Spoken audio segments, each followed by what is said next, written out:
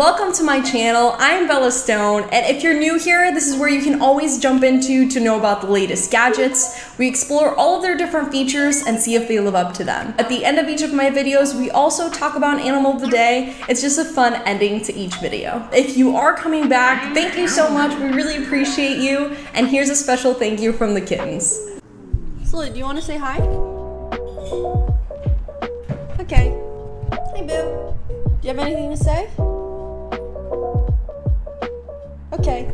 I'm so, so excited to talk about the event that I attended for four days called PAX East. For those of you who aren't familiar with PAX, it stands for Penny Arcade Expo. It was originally created by this company that was rolling out comics and editorial content of what they claimed was nerd stuff. They wanted to create a huge environment full of events and fun activities for that specific community of gaming, anime, and comic lovers. An incredible event packed with free play tournaments, exposition halls, concerts, different panels, and of course, the Omegathon. The first thing I did was go in and get my badge. When you go in, there's a huge pile of lanyards that you can just pick up. So I did just that, which was actually very handy for when I went through the different exposition hall stands and they shared different pins with me for a lot of the different games that I really enjoyed from developers, as well as some charities that I went into to check out. But there's a lot of things I want to break down and share with you. So let's get right into the video. I decided to one wheel to PAX on the last day because I found out that CodeCheck could hold my board once I arrived. Just a heads up in case you want to do the same. The first three days, however, I walked to the event, both ways, which ended up being around 6 to 11 miles a day.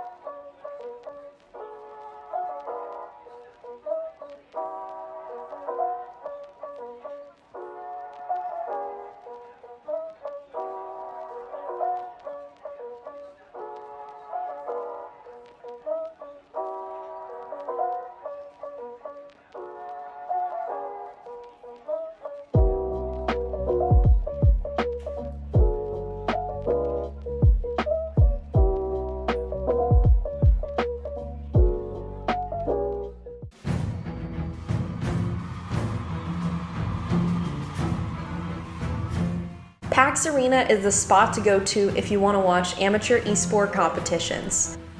The first one we see here today is StreamStar's influencer-based tournament for Fall Guys Extravaganza. The prize is a total of $5,000, and PAX attendees also have a chance to play and sabotage the influencer players.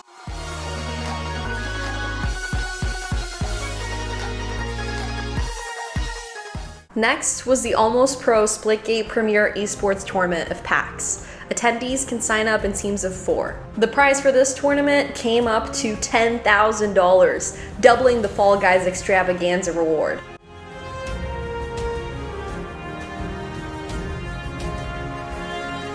This was the tournament's ending interview, and I also wanted to give a shout out to that awesome Totoro shirt. Lastly, of course I had to add in here the Valorant Collegiate Open Qualifiers match with the reward of $7,500. You can also choose to go into different common rooms like the handheld lounge, PC, and console free play.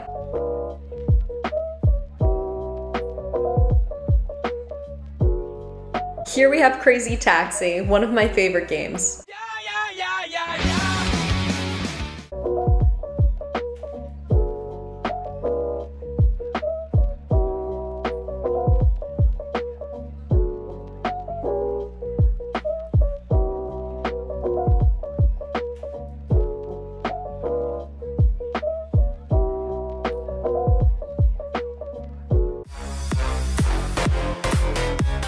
The speedrunning area had games like The Legend of Zelda, Silent Hill 4, Mario Party Superstars, and many others. The Omegathon is comprised of 16 teams that are paired in groups of two to compete in games throughout the weekend, the final round being a secret game. These teams are randomly chosen from the pre-registered attendees. The first game they played was the Fling to the Finish, which eliminates 16 teams, aka half of them.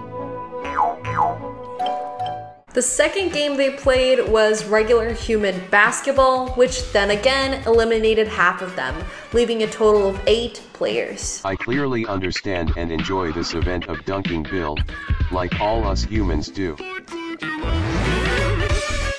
The third game was surprisingly a board game called Fire Tower. It eliminated four players, leaving the last two finalists.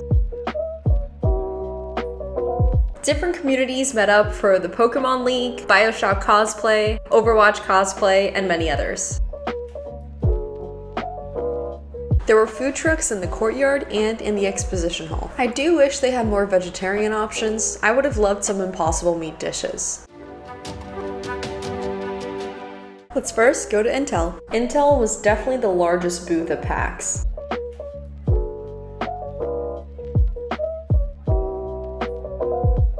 Intel featured some awesome art from the community.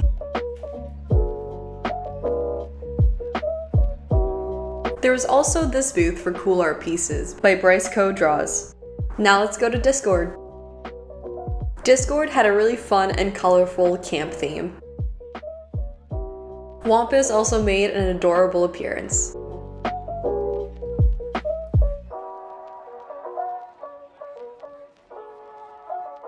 Here we have the Child's Play charity. They provide therapeutic games and technology to children's hospitals, clinics, and domestic violence shelters worldwide. Their pin said, play games, feel better. They also have some swag on their website from water bottles, hats, clothes, pins, bags, and more.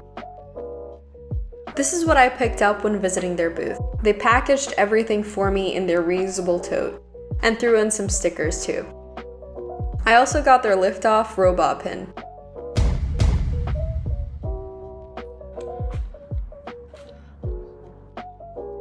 Lastly, I got their Gamers Give Back hoodie, which I didn't see on their website, so it must have been exclusive to PAX maybe.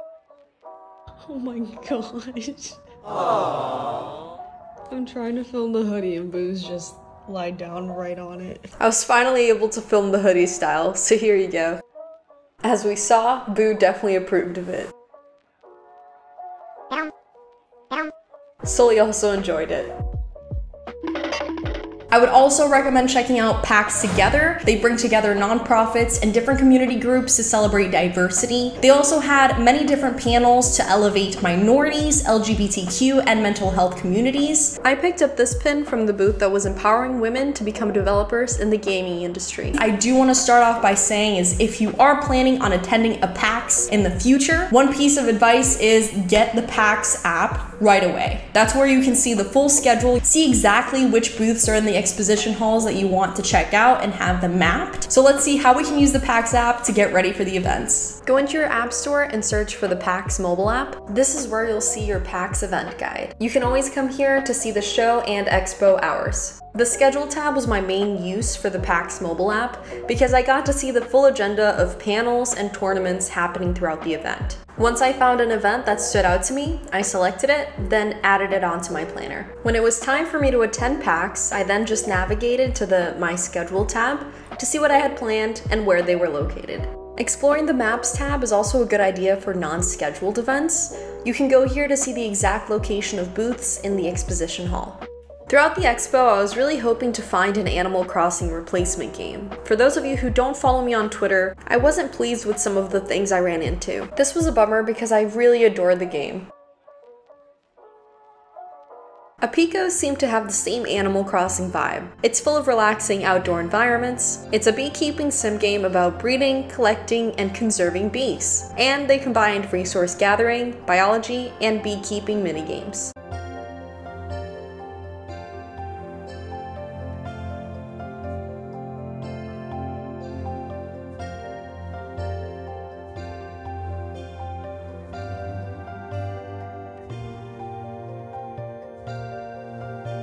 They also included the pronouns for each character you talk to.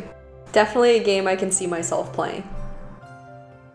They also had this cute pixelated bee pin. Kainga was another game I stopped by because the art was just very mesmerizing. It's an ancient village builder game. Its environment, technology, and choices affect your community's culture and developing abilities. You have to always be on the lookout for weather changes so your village doesn't experience fires, floods, or any other natural disaster. Not only will weather become an inconvenience at times, but so will other tribes. You partake in battles to fulfill game challenges along the way. I did get a chance to talk to the developer, Eric, and I learned a lot about the production of the game. He was able to not only develop the game, but also create the design we see here today. Next, let's go into tinyBuild to take a look at Potion Craft. This was one of the most relaxing booths I stepped into. It had a mystical theme where people could demo the game while sitting on comfortable pillows around a cauldron. It's an alchemist simulator where you interact with tools, ingredients, and merchants to brew magical potions. You can create new recipes and intrigue your village to purchase your mixtures. It really does take you back to the medieval era, and the art is so beautiful.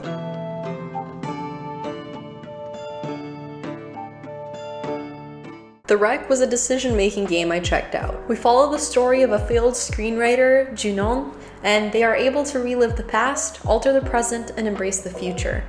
It's a visual novel about sisterhood, motherhood, grief, and survival. It was created by French developers and designers. Voyez où vos décisions vous mèneront. It was great seeing the VR game I Expect You to Die, giving us a nice throwback to my old video.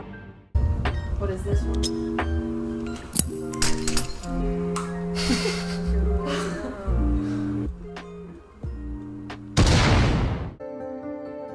Seeing the Two Crowns' newest release of Norselands definitely took me by surprise. I wasn't aware they put out a new land, and this is one of my favorite games to play, so I needed to see what was going on. Norselands has many new opponent types and new creatures to transport on to give us unique powers for the night. Cult of the Lamb by Devolver was consistently packed throughout the four day gathering. The crowd was right about the hype though, because the game looked so fun. It blended cuteness with demonic themes and evil challenges. Your mission is to build your own loyal community of woodland worshippers to eventually become the biggest and most powerful cult in every mysterious region around you, while of course effortlessly being the cutest group around. The Woodland Worshippers grounds reminded me a lot of the Midsommar movie's environment, with similar tents, flowers, and bizarre joyful communities. Dead Cells is our next booth. I used to play this game a lot. It's a Metroidvania inspired action platformer. They have really cool settings where you can choose the appearance of food in the game, aka your chosen diet. I was really intrigued with Melon Journey's art style, very pixelated and old school approach. This game allows you to take a journey throughout an adorable town where you get to meet various personalities while also unraveling the dark tale of crime and corruption among the community members. Tunic might have been the game that impressed me the most. I know it's a big claim, but it seems to have combined the highlights of some of my favorite games. I see a lot of similarities to Sackboy and Kirby's Epic Yarn. With Tunic, you get to try ancient powers, explore legendary lands, and have action-packed battles with brutal monsters. It has intricate paths, and it's perfect for the curious mind. They also had a pin of their adventurous fox.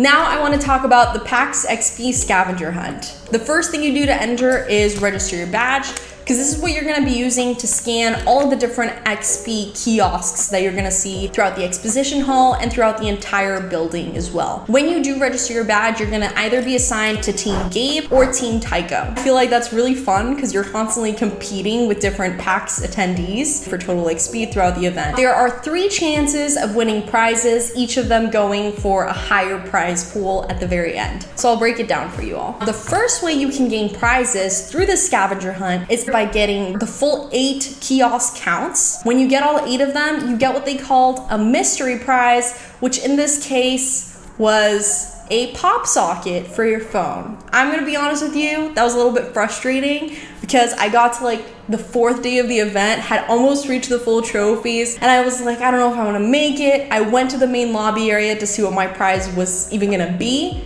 I found out that's what it was, and I was just like, I've been struggling for four days to find all these kiosks, and you're gonna offer me a pop socket? Anyway, moving on, the second way that you can gain prizes through the scavenger hunt is by swiping it on sponsored XP kiosks. Now, these are going to be in special booths throughout the exposition hall. One of them, for example, was Discord. I scanned mine and I luckily got a boost for the Discord channel. I meant to say I got Nitro for one month free. You get a lot of more specific prizes for those sponsored booths. Thirdly, and of course, the most exciting prize of them all, free tickets to the next year's PAX East. The way that you win this is a lot harder. First thing you have to do is be able to get more than five trophies total to even be entered in the raffle. But your team overall also has to win for you to even be entered in the first place. Even if I had collected more than five trophies, but Team Tycho had more XPs than Team Gabe, which was my team, I would not be entered. So it's a lot harder to even get raffled into it.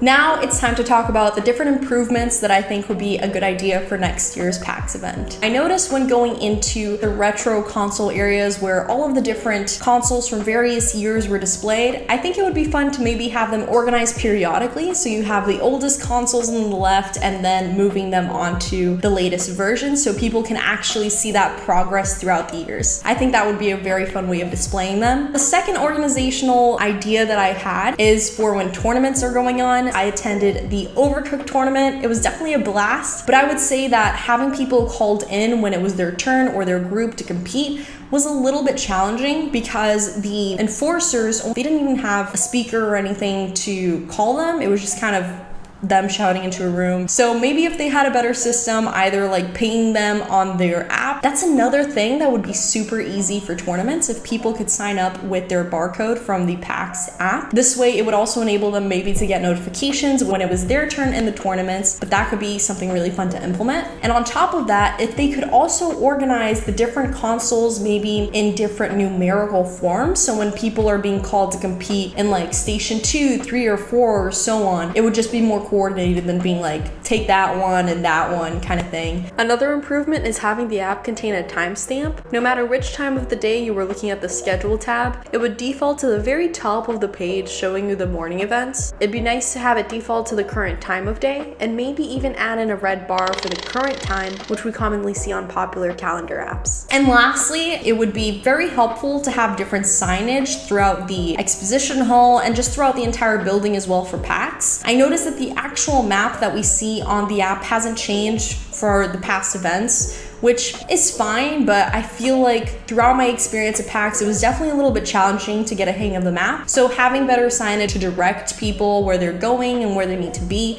would be a good touch as well for the next year. But then again, these are really just minor improvements that I'm pointing out. I overall had such a great experience. PAX was one of the most fun events I've ever attended. It's joining everything I enjoy from gaming to seeing different anime characters that I watch to just bringing like all of our different interests together as a community. And that was a lot of fun. Our animal of the day is the snow leopard and the Panthera genus. They live in the Himalayas. Snow leopards live in high alpine areas, mostly above the tree line and up to 18,000 feet in elevation. They are found in 12 countries, including China, Bhutan, Nepal, India, Pakistan, Russia, and Mongolia. They have long, thick tails that serve to balance them on rocks and to wrap around themselves for extra warmth. Their paws are big and fluffy, being perfect for padding on the harsh mountain rocks and as snowshoes for the winter times. They can jump upwards of 50 feet in length, the length of three large SUVs. They're known as the ghost of the mountains due to their solitary life, shy demeanor, and their ease of blending into the mountain ranges due to their coat color. They're currently, sadly, a vulnerable species, estimated at around 5,000 snow leopards left in the wild. Their biggest threats are hunters, habitat loss, poaching, and climate change. The Himalayas are experiencing warmths of three times the global average, causing major disruptions to the big cat's home. World Wildlife is focused on reducing human leopard conflict and rural development education for sustainable development, stopping mining in fragile snow leopard habitat, and the control of illegal wildlife trade. I'll add in their information in the description down below if you want to get involved and help. Thank you so much for watching my video. I hope you enjoyed walking through PAX East 2022 with me. If you did, don't forget to like down below. And if you enjoy this content, don't forget to subscribe. We really appreciate your support. And I also would love to hear your stories either of the different cosplays that you enjoyed seeing in my video today, or what you would personally dress up as if you're attending next year's PAX. Are you going to maybe cosplay as your favorite anime character or best gaming MVP player? I wish I had gone as Viper. I think that would have been an awesome costume and a fun way for me to show which Valorant player I main. I'll see you next time. Bye.